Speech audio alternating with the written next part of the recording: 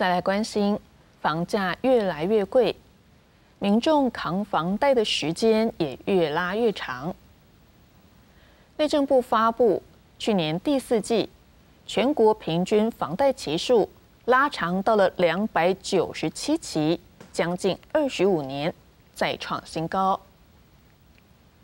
就有房仲认为，如果是四十岁才购屋的民众，没有提前还款计划，可能会要缴到退休。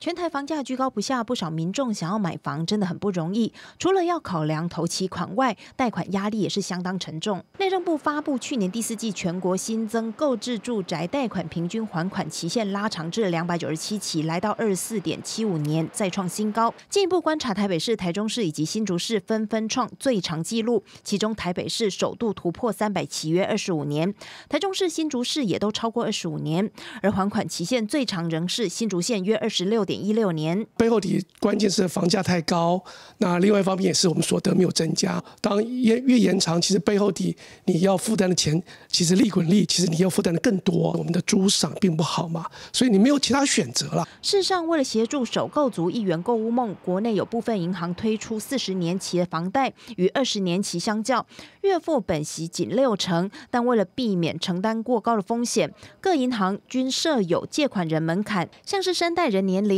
房屋屋龄、地区、职业身份、结构、耐用年限等，都关系到房贷最长可以贷几年。房仲认为，央行已经连续五次升息，让房贷族缴款相当有感。